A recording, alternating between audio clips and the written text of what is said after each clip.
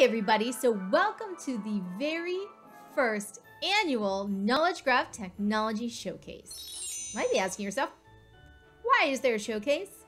Well, I often get the question which tool is right for the job, especially when I am dealing with knowledge graph and modeling questions. And what I would like to do is share with you some tools that I often point people to, some that are new on the scenes, some that are going to be a surprise.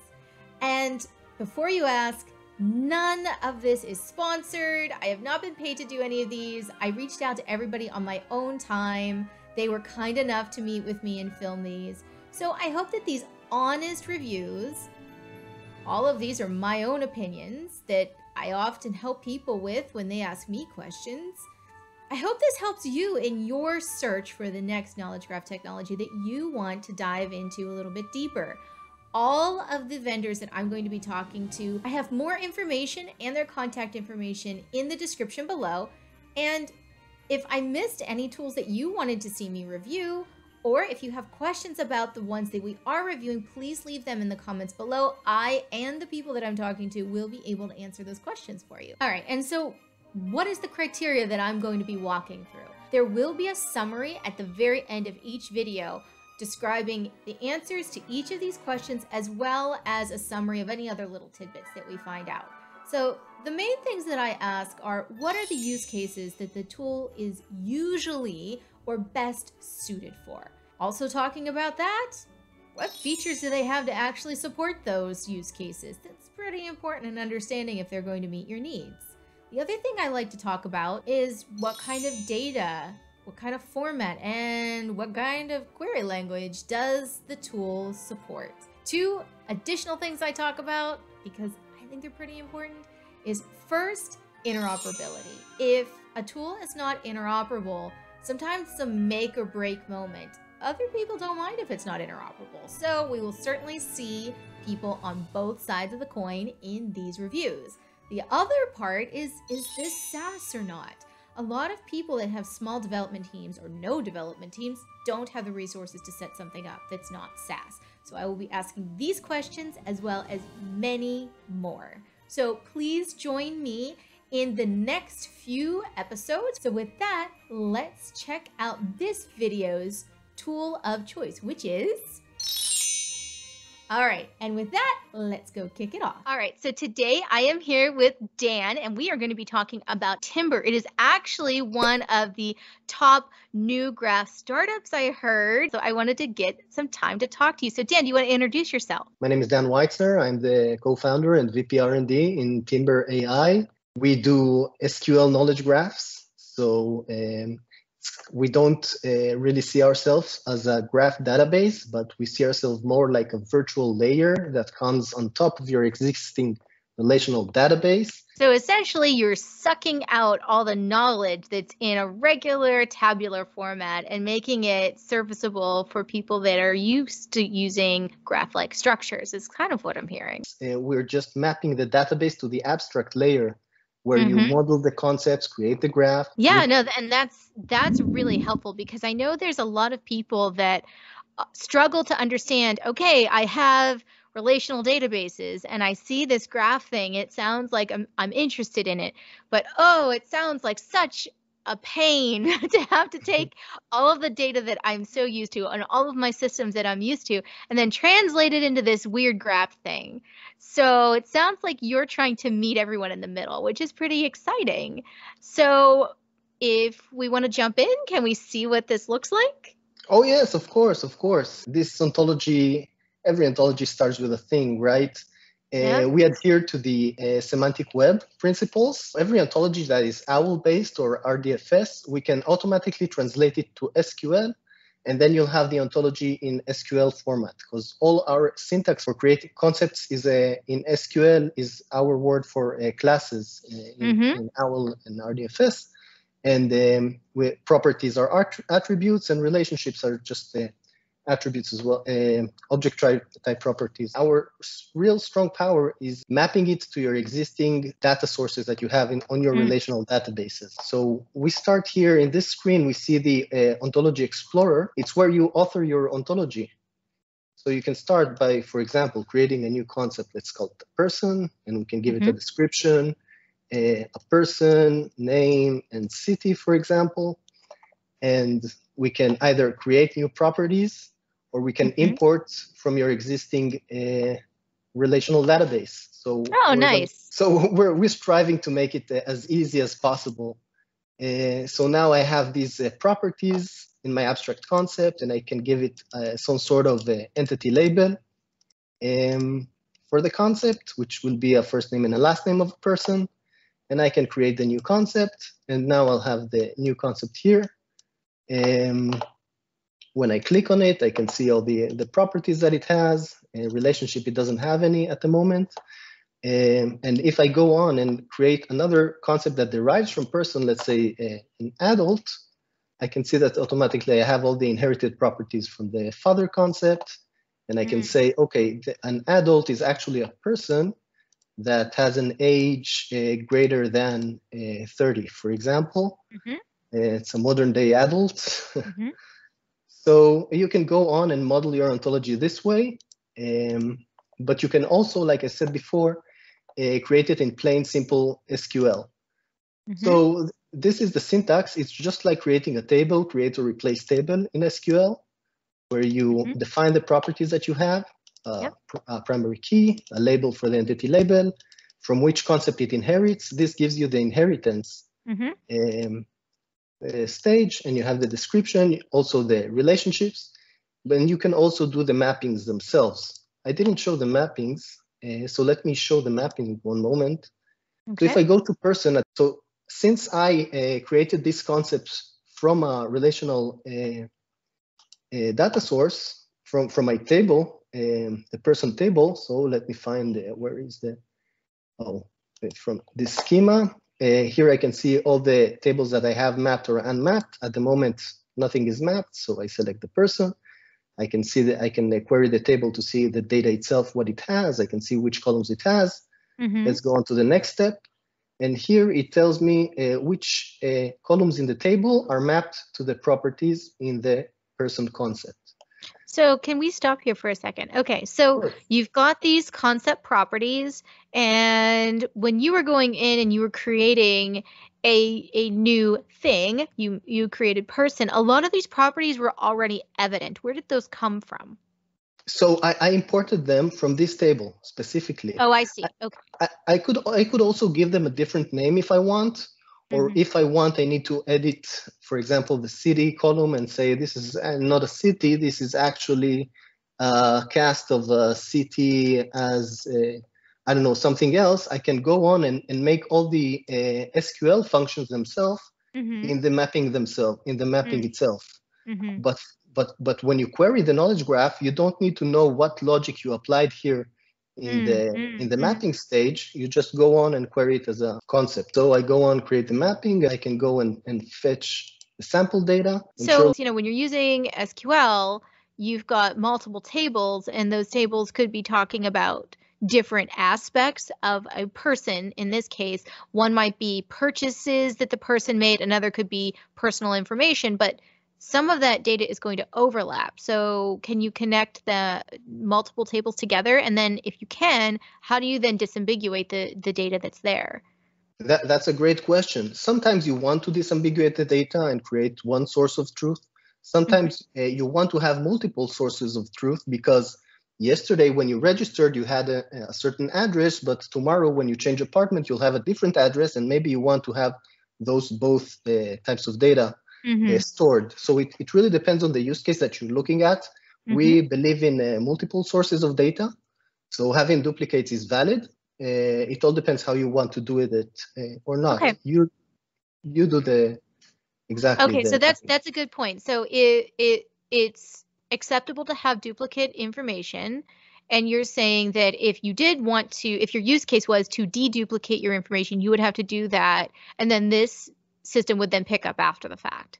Oh yes, yes, and and okay. you can you can do it with the system in the mapping stage. You can create the joins in the table or unions or. Oh, okay. So you can you can handle it in the mapping area. Okay. Yes, I'll, I'll get only the uh, adults that uh, the people that have age over than 30 mm-hmm. right like we specified so that's a validation step because you had a business rule how you're defining that and it is adhering to that that's good exactly and you can define uh, however rules that you want uh, on the mm-hmm. logic side of mm-hmm. things mm-hmm. but uh, uh, let's go on and uh, create our whole ontology by running this query i can see suddenly that i have an ontology and now uh, I have also relationships. Mm-hmm. When we click them, we can see the source and the uh, target of the relationship. Mm-hmm. You can also search for certain relationships that you have in the graph. Oh, that's nice.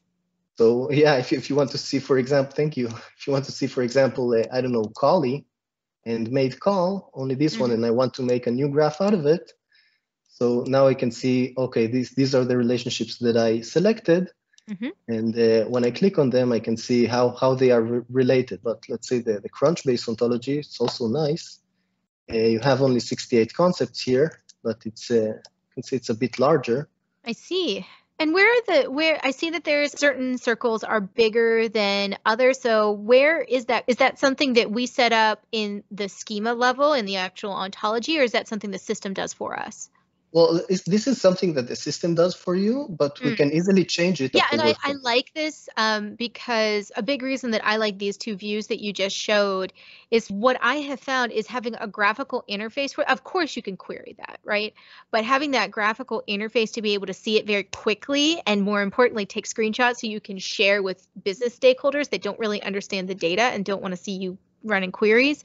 This helps you understand the health of your ontology because if you have too many branches that are um, kind of getting close to like an orphan node where they don't actually mm-hmm. have a lot of substance to them that gives you an indication that you need to go and do something with them and also the um, the level, the concept level um, in semantic search, that's really helpful also for if you're trying to do recommendation engines mm-hmm. um, or um, type aheads where you want to maybe start with um, the level ones that are um, sort of on the broad side and then maybe help the user drill in. I think that really helps. Absolutely. Yes, you're right. You're very right. And and you also asked about the the sizing of the of yes. the nodes. Mm-hmm. And now I can see that company probably has a lot of children because it's bigger. So yeah, when you click on a concept, you can see all the inherited, how many inherited properties it has, how many direct mm-hmm. properties it mm-hmm. has the different relationships that it has. We have uh, different types of relationships. We have many to many relationships mm-hmm. that uh, mm-hmm. go through a, a table a certain table, for example, to connect a different concept. But it's almost as if you're just putting another lens or a filter on top of your SQL, where this is maybe um, processing it into graphical like structures at runtime. Is that usually where that happens, or where does that happen? So we push down the query. What we do is we our uh, virtual layer uh, rewrites the query uh, so that you can access the uh, you can treat it as a knowledge graph. But what happens behind mm-hmm. the scenes is that you get a very big query with a lot of joins and push down mm-hmm. to the mm-hmm. relational database and mm-hmm. that's where the all the magic happens. The the leap that i'm trying to make in my mind is you know on the surface i love this idea that you don't necessarily have to get an entirely new type of database. You don't have to do, make a whole nother pipeline. I mean there's a lot of really big benefits for this. But then i start to think through you know the value of, of, of a regular graph database is that you have let's say three hops to get to the answer that you're looking for if you're still continuing to use those tables behind the scenes for this, you are still technically needing to make all five of those hops. Is that accurate? It's just this is doing it for you automatically behind the scenes, so you don't have to do all the joins yourself. So yes, if, if you model it accordingly, you don't have to do any join. And I can show you an explain query, uh, how it looks before you do it and after and that then you will see the, the amount of data that you so what one of the use cases that we did was um, with uh, hr uh, hr department in a very very big retail company employing mm-hmm. tens of thousands and uh, they had a problem that they were trying to uh, know i want to see all the managers and the direct managers and their direct managers mm-hmm. all mm-hmm. and they couldn't figure out how to do it so so when you create any ontology you get uh, you get actually four schemas that we provide you get timbr, you get D timbr, you get E timbr, and you also have G timbr, which is for the graph algorithms. Each concept gets uh, added to these three schemas. So what's the difference between them? So uh, timbr has all the relationships of uh, and the inherited relationships in the metadata itself. E timbr, if you go to a base concept, for example, oh, one moment. For example, if I go to department and I look at it from the eTimbr perspective, I will get all the properties of all the children as well. So that's so, the inheritance, basically. Yes, okay. but but, uh, but it's like a reverse inheritance because I see the, the properties that I, are direct to each one of the children.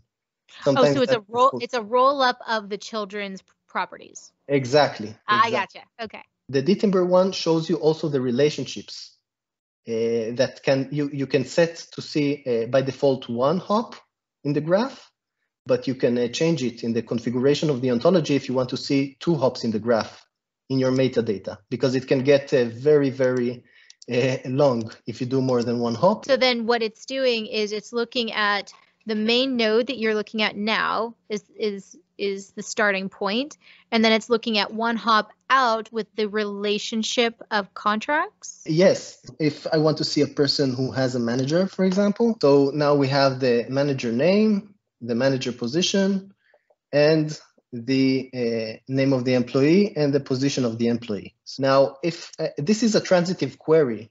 So this means, uh, this why it has the star five in it.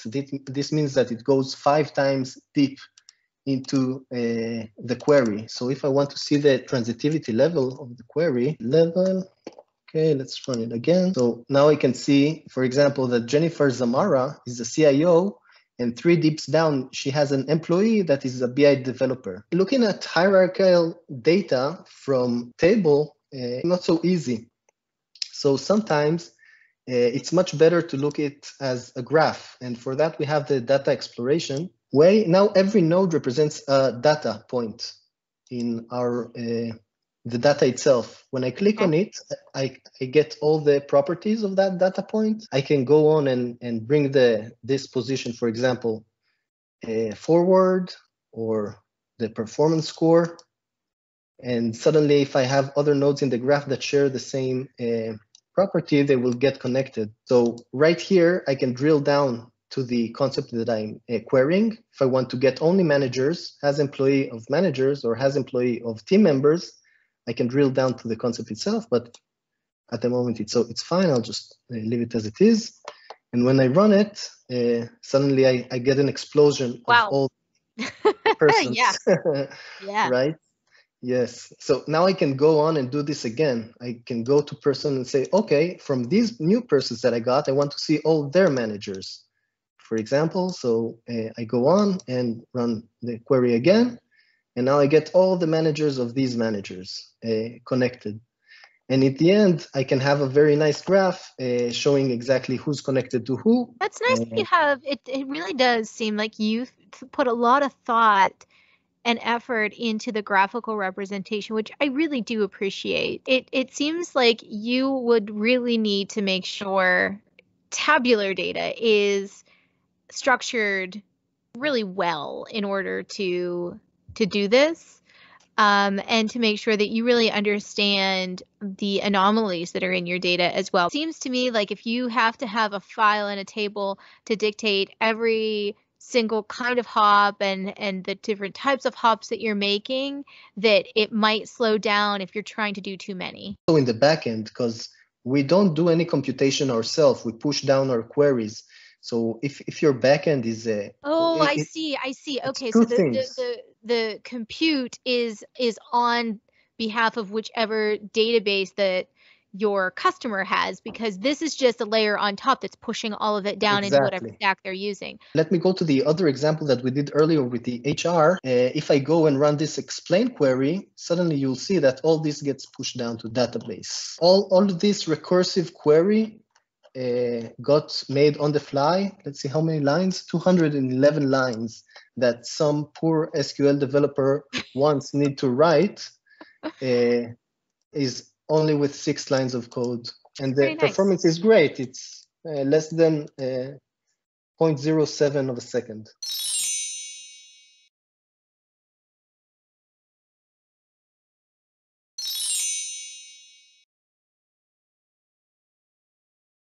All right, so I thoroughly enjoyed this. I think this is really cool. If you have developers that are very much in tune with their relational databases, this might be that stepping stone for them to get interested and and working with graph-like structures without having to go full graph and have to do all of the things that go along with that. Um, so I, I, think this is a fabulous thing, and I can see why you all are, um, you know, a hot topic this year and hopefully you. years to come.